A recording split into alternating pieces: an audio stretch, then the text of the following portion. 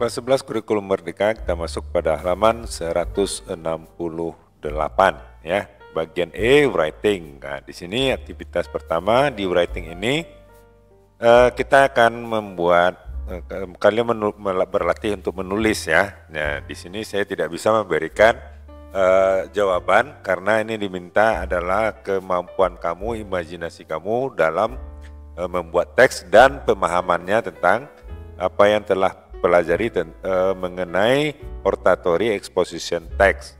Nah, sekarang kita terjemahkan dulu aktivitas pertama.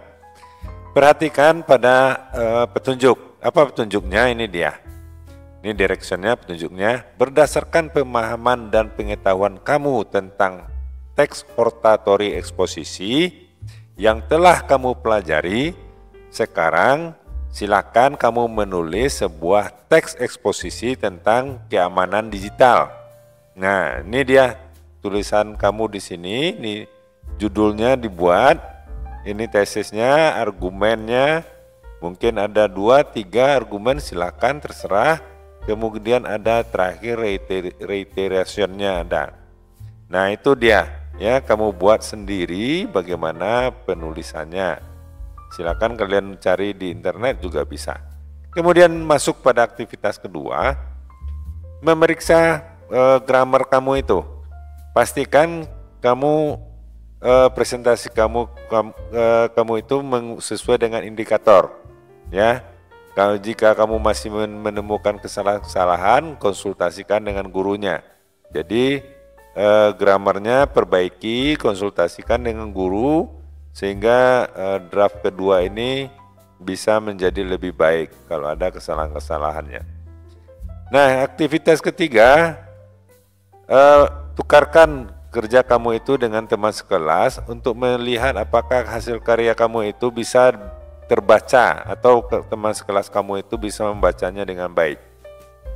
Dan ada hasil karya yang tidak bisa dibaca atau tidak mengerti ya. Nah, untuk mem membuat draft-draft ini, saya sarankan kamu membuatnya dengan bahasa Indonesia terlebih dahulu. Setelah itu barulah kamu buat e, dalam bahasa Inggrisnya. Kalau tidak bisa membuat dalam bahasa Inggrisnya, e, per, kamu pergunakan juga Google terjemahan bisa, ya. Jadi tidak satu jalan kroma. Kemudian masuk kepada e, aktivitas ketiga. Nih, ini dia. Ya, bergantikan. Apakah kamu e, tulisan kamu itu bisa terbaca dengan baik? Nah, apa tugasnya di sini? Mintalah teman sekelas kamu dan guru kamu untuk memberikan komentar untuk peningkatan uh, hasil karya kamu itu yang termasuk uh, di bawah ini. Apa yang di, yang diminta komentarnya? Yang pertama itu apakah struktur dari draft itu sudah bagus atau sudah sesuai dengan aturan yang sudah kamu pelajari. Yang kedua adalah informasi yang uh, kamu berikan itu sudah mengalir dengan baik atau belum ya jadi ada ceritanya yang tidak meloncat-loncat. Ya itu dia mengalir bagus ya kan? Yang ketiga adalah elemen-elemen dari eksposisinya ada apa tidak.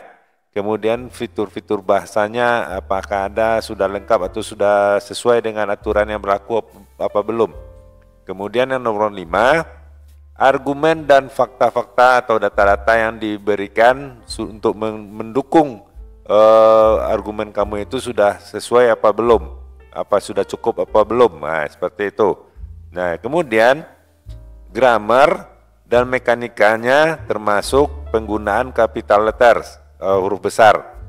Misalnya setelah titik tentu harus huruf besar. Apakah sudah sesuai dengan seperti itu? Jadi uh, mekanikanya uh, grammarnya itu sesuai, sudah sesuai dengan tata bahasa yang ada. Jangan nanti setelah titik masih huruf kecil juga lagi kan Nah, itu harus diperhatikan. Jadi dalam penulisan harus hati-hati. Kemudian masuk pada bagian A ini apa eh, komentar teman sekelas kamu itu. Nah, kamu beri eh, biarkan teman kamu itu memberikan komentar di sini dan juga di sini guru kamu itu memberikan komentar. Nah, di sini. Nah, untuk komentar ini kamu tidak boleh memberikan intervensi apa pun kepada teman kamu itu. Biarkan mereka berkomentar apa saja. dan kamu harus menerima komentar mereka itu dengan sebaik, uh, sebaik-baiknya dan berbesar hati.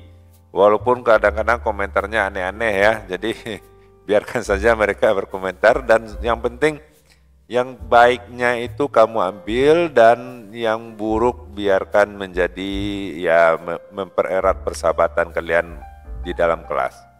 Nah barangkali itu dulu untuk kali ini. Jangan lupa subscribe dan like videonya. Uh, Mudah-mudahan bermanfaat. Sampai jumpa.